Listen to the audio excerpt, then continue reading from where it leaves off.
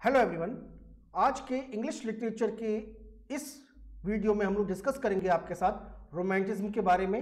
Romanticism के बारे में काफ़ी सारे जो क्वेश्चंस आपके एग्ज़ाम में आते हैं, उनके बारे में भी ये जो वीडियो है बहुत हेल्पफुल होने जा रहा है तो इस वीडियो को आप एंटर देखिएगा। तो ये वीडियो ऐसे कैंडिडेट्स जो कि यूजीसी नेट एग्ज़ाम की प्रिपरेशन कर रहे हैं, या फिर सेट या फिर स्लेट एग्ज़ाम्स की गेट एग्ज़ाम की टीजीटी पीजीटी जिसमें केवीएस डीएसएसबी ईएमआरएस एनवीएस या फिर स्टेट लेवल के इंग्लिश टीचर या फिर असिस्टेंट प्रोफेसर की प्रिपरेशन कर रहे हैं, उन सभी के लिए ये वीडियो बहुत हेल्पफुल होने जा रहा है। इस वीडियो को आप एंड तक देखिएगा और अगर अभी तक आपने इस चैनल को सब्सक्राइब नहीं किया है subscribe this channel like this video and share this video तो आज के इस वीडियो में हम लोग डिस्कस करेंगे आपके साथ ये चार क्वेश्चन जिसमें सबसे पहले हम लोग डिस्कस करेंगे व्हाट इज़ रोमांटिज्म रोमांटिज्म क्या है? Then what is the origin of romanticism romanticism का क्या ओरिजिन है? क्या इसकी बैकग्राउंड हिस्ट्री है? Then what are the important salient characteristic of the romanticism and last हम लोग डिस्कस करेंगे what are the best examples of romanticism जो कि हमें डिफरेंट फील्ड्स के अंदर देखने को मिलता है? तो सबसे पहले हमारा जो फ़र्स्ट क्वेश्चन है व्हाट इज़ रोमांटिज्म जरा उसको हम लोग डिस्कस करते हैं। तो रोमांटिज्म क्या है? इसके पीछे की फिलॉसफी क्या है और क्यों इसे इंग्लिश लिटरेचर में क्यों इसको इतना मतलब इंपॉर्टेंस दिया गया था? इसको हम लोग डिस्कस करेंगे। तो रोमांटिज्म एक तरह की, बोला जाए कि एक तरह का यहाँ पर एक आर्टिस्टिक मूवमेंट है, जो कि एटीन और नाइनटीन सेंचुरी में देखने को मिला। तो रोमांटिज्म ऐसा, जैसे कि अपनी बॉलीवुड मूवीज़ में देखने को मिलता है कि भाई रोमांस है तो वो वाला रोमांस नहीं है ये। ये एक तरह की आर्टिस्टिक मूवमेंट है, जिसमें एटीन और नाइनटीन सेंचुरी में ये जो है रोमांटिज्म जो था काफ़ी पॉपुलर हुआ। और रोमांटिज्म के अंदर काफ़ी सारे जो उस समय के आर्टिस्ट थे म्यूजिशियन थे या फिर राइटर्स थे, उन्होंने काफ़ी काफ़ी अलग तरीके थीम्स को एक्सपेरिमेंट किया अपने वर्क के अंदर, जिसके अंदर उन्होंने जो उस समय की जो मतलब वहाँ पे जो नेचुरल ब्यूटी थी, या फिर उनके इमोशंस थे, या फिर उनकी जो इमेजिनेशंस थी, उनको अपने वर्क के अंदर इंक्लूड किया। तो यहाँ पर आर्टिस्टिक मूवमेंट के अंदर जो एक तरह का रोमांटिज्म था, उसमें नेचुरल ब्यूटी इमोशन और इमेजिनेशन जो है देखने को मिलती है। और इसके अंदर हम लोग और भी डिटेल में कैरेक्टरिस्टिक में इसको हम लोग जो डिस्कस करेंगे।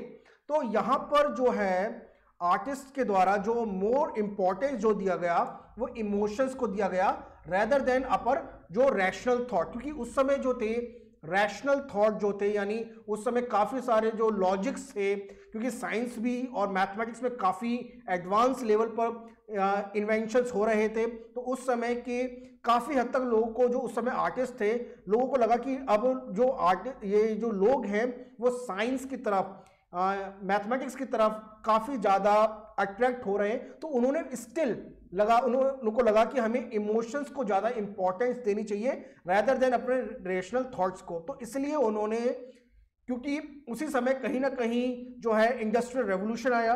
इंडस्ट्रियल रेवोल्यूशन की वजह से उस समय की जो सिटीज़ थे, वो काफ़ी पॉपुलेटेड हो गए और पॉल्यूटेड भी हो गए तो उसलिए उनको लगा कि अगर हम लोग ज़्यादा से ज़्यादा साइंस को ज़्यादा इम्पोर्टेंस देंगे तो कहीं ना कहीं ये जो हमारी जो लाइफ है, हमारे जो इमोशंस हैं, वो पीछे छूट जाएँगे। तो इसलिए उस समय के जो आर्टिस्ट थे, उन्होंने अपने इमोशंस के लिए, अपने इमोशंस को अपने वर्क में दिखाया और जो वर्क जो था, वो काफ़ी फ़ेमस भी हुआ। कौन कौन से वर्क थे? मैं आगे अभी आपको थोड़ी देर बताऊँगा। इसके अलावा उन्होंने उस समय की जो ह्यूमन नेचर या फिर बहुत सारे ऐसे एक्स कॉन्सेप्ट्स थे और या फिर साइंस के आ, बहुत सारे कॉन्सेप्ट्स थे जो थी जो कि इंडस्ट्रियल रेवोल्यूशन के लिए बहुत इंपॉर्टेंट थे। तो उनके अगेंस्ट में अपना वर्क को प्रेजेंट किया। तो मैंने जैसा बताया कि हमने उस समय मतलब उस समय के जो आर्टिस्ट थे उन्होंने अपने इमोशंस को ज़्यादा रोल प्ले करवाया as compare to the science के मुकाबले। So these are the concept these these people are rebelling against the attempt to explain the world and human nature through the through the lens of the science or the through the lens of the industrial revolution तो यहाँ पर उन्होंने बोला कि अगर हम लोग कहीं ना कहीं अगर आप अपने इमोशंस को वर्क नहीं करेंगे तो कहीं ना कहीं हम लोग जो हैं सोसाइटी में पिछड़ जाएँगे। उनका ऐसा मानना था। तो वो हर एंगल को साइंस के एंगल को, या हर चीज़ को साइंस या फिर इंडस्ट्रियल रेवोल्यूशन के एंगल पे नहीं देखना चाहते थे, क्योंकि वो अपनी लाइफ से बहुत खुश थे। तो उन्हें लगा कि कहीं ना कहीं जो ये साइंस है या फिर इंडस्ट्रियल रेवोल्यूशन है, उनकी लाइफ में कहीं ना कहीं बहुत ज़्यादा भाग दौड़ लेके आ रहा है तो इसलिए इस कॉन्सेप्ट को वो एकदम अगेंस्ट थे। इसके अलावा इस तरह का जो रोमांटिज्म जो है, ये लिटरेचर के अंदर आर्ट्स के अंदर म्यूज़िक के अंदर, या फिर और भी बहुत सारे जो फ़ील्ड हैं, वो देखने को मिलता है। और इसके अंदर उन्होंने काफ़ी वर्क भी किया, जो कि मैं आपको एग्जाम्पल्स ऑफ़ रोमांटिज्म के बारे में बताऊँगा, जब उसमें आपको बताऊँगा। देन इसके अंदर जो रोमांटिज्म का एकदम अगेंस्ट की जो फिलॉसफी थी, वो था रियलिज्म तो कहीं ना कहीं लगता है कि जो जहाँ से रियलिज्म का स्टार्ट हुआ ना, वहाँ पे ही कहीं ना कहीं रोमांटिज्म का एंड हो गया। तो रियलिज्म को रोमांटिज्म के एकदम अगेंस्ट फोर्स को बनाया जाता। दोनों एकदम डिफरेंट पोल हैं। तो आप ध्यान रखिएगा तो रियलिज्म अलग है रोमांटिज्म अलग है। रियलिज्म मतलब एक तरह की जो रियलिटी है, जो कि रियलिटी जैसे आजकल के नॉवेल्स हैं, जो कि नॉन फिक्शन बेस्ड है या फिर फिक्शन बेस्ड है तो जहाँ पे हम लोग जो है अपनी बातों को कहते हैं। तो कहीं ना कहीं रोमांटिज्म में कहीं ना कहीं बातों को बहुत ज़्यादा हाईलाइट करके बताया गया तो जो कि एकदम रियलिटी से बहुत अलग थी but still people like that उस समय जो ये चीज़ें थी, लोगों को पसंद थी। तो ये जो है रोमांटिज्म के अंदर देखने को मिलता है। इसके अलावा रोमांटिज्म के अंदर इमोशंस को और इसके अलावा जो इंडिविजुअल यानी हर व्यक्ति को उनका बताएगा कि क्यों इंडिविजुअल ज़रूरी है सोसाइटी के अंदर और इसके लिए उन्होंने इमोशन और इंडिविजुअल को ज़्यादा इंपॉर्टेंस देने के के लिए उन्होंने अपने पास्ट के बारे में नेचर के बारे में ज़्यादा से ज़्यादा लिखना स्टार्ट किया। उनको, उनका एक तरह से ग्लोरिफिकेशन किया। ग्लोरिफिकेशन मतलब उनके बारे में बहुत ज़्यादा मेंशन किया अपने लिटरेचर के अंदर।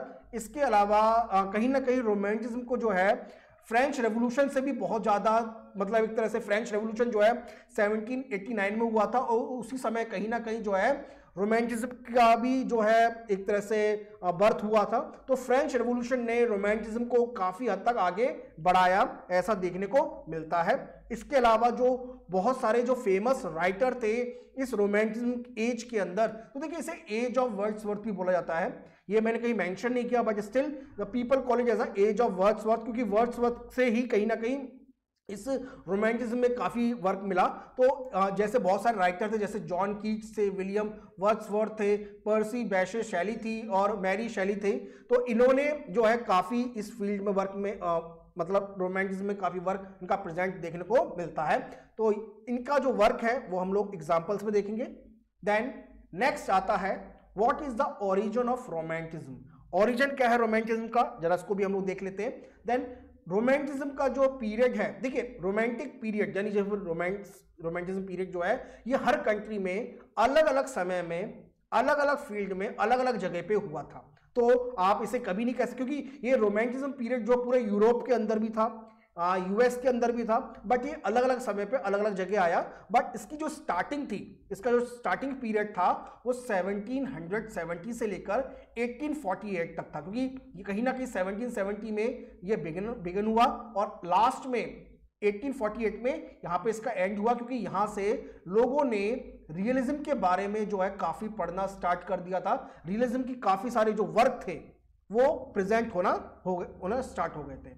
इसके अलावा बहुत सारे ऐसे भी इवेंट हुए रोमांटिज्म के समय में, जो कि इसे रोमांटिज्म को इसलिए इंपॉर्टेंस दिया गया, जिसमें मैंने एक आपको बताया फ्रेंच रेवोल्यूशन इसके अलावा नेपोलियन वॉर्स जो कि 1815 में हुए थे। तो 1815 के आसपास जो है काफ़ी वॉर हुए थे। इंग्लैंड के बीच में और फ्रेंच के बीच में फ्रांस के बीच में। तो उस समय ये सारे दोनों इवेंट जो है रोमांटिज्म एज के बीच में ही हुआ था। इसके अलावा, जैसे कि मैंने बताया कि रोमांटिज्म का जो एंड था रोमांटिक एरा का जो एंड था, वो एक तरह से बिगिनिंग था रियलिज्म के बारे में। तो रियलिज्म को हम लोग अपने नेक्स्ट लेक्चर में पढ़ेंगे कि रियलिज्म कैसे जो है इंग्लिश लिटरेचर में आया। इसके बारे में डीपली हम लोग जो है आगे के लेसन में पढ़ेंगे। Then what are the important characteristic of romanticism जो कि बहुत ज़्यादा ज़रूरी है, क्योंकि कहीं ना कहीं आपके एग्ज़ाम के अंदर रोमांटिज्म के कैरेक्टरिस्टिक के बारे में पूछा जाता है, ये के अंदर तो इसको भी हम लोग जो है डिटेल में डिस्कस कर लेते हैं।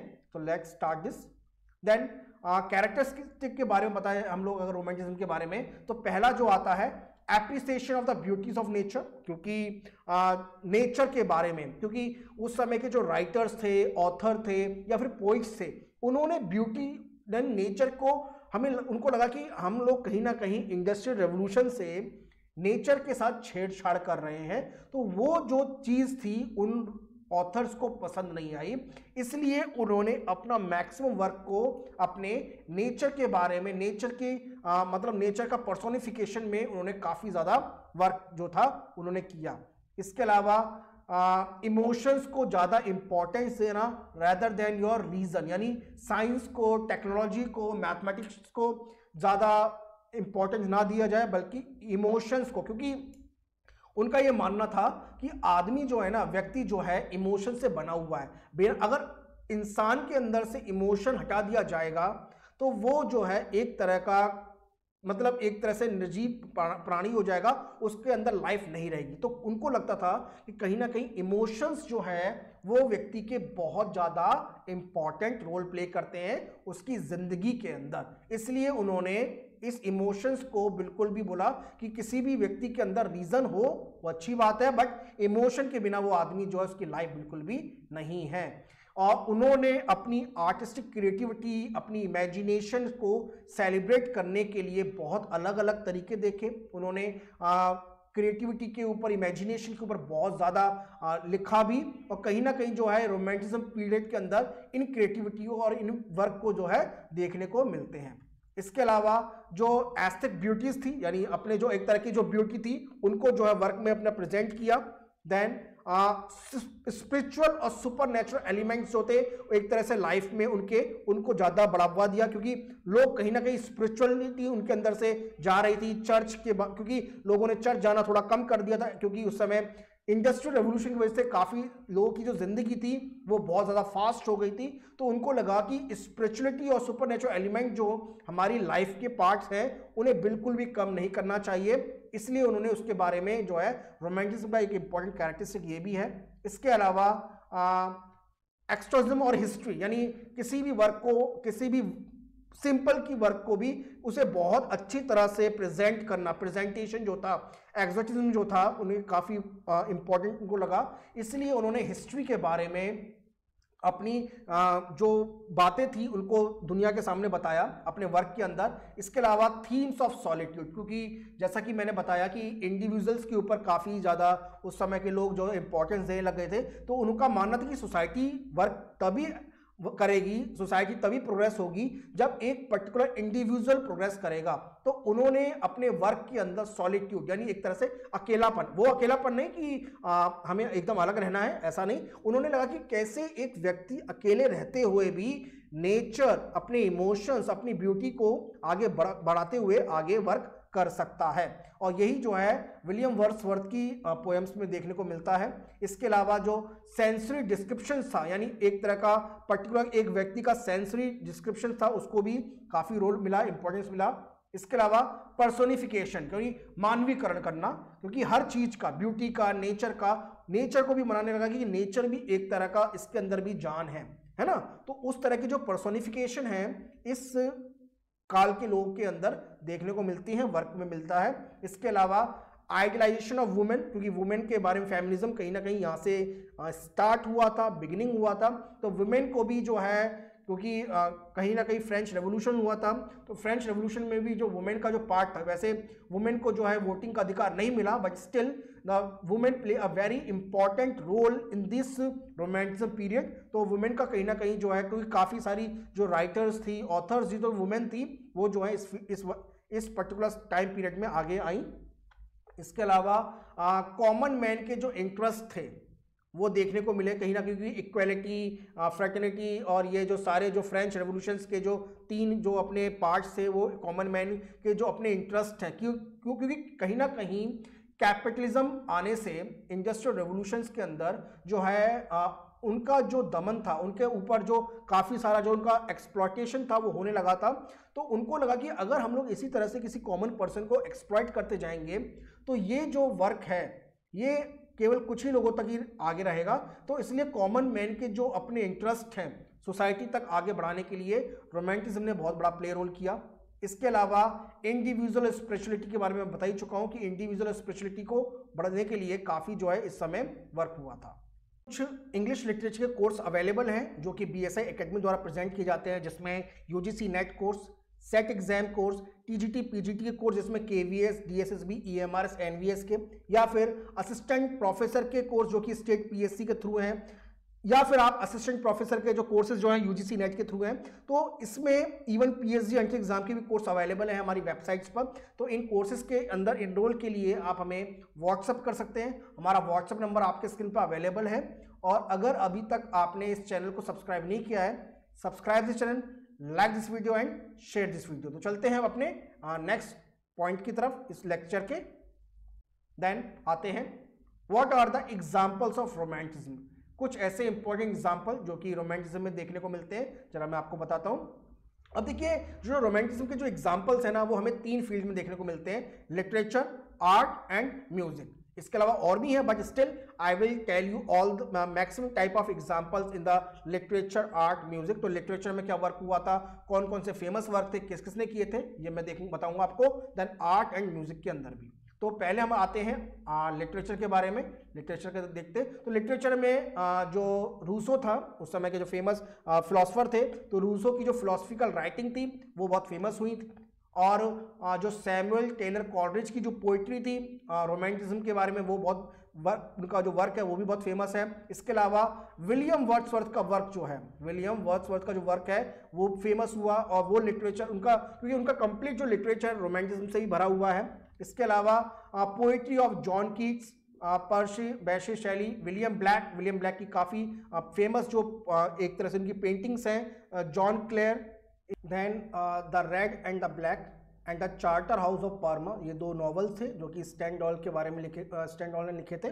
देन इसके अलावा स्पेनिश पोइट्री फ़ेमस हुई, जिसमें जिसकी जो स्पेनिश पोइट्री जो थी बाय द डी लारा और द गुस्ताफा एडोल्फो बैकोर इन्होंने भी काफ़ी वर्क किया।